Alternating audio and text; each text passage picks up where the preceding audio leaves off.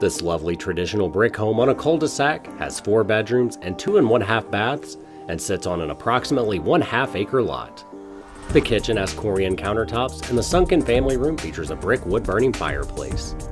Other features include updated bathrooms, a finished lower level, and an extended two car garage. Team Hoelzer would love to give you a private tour.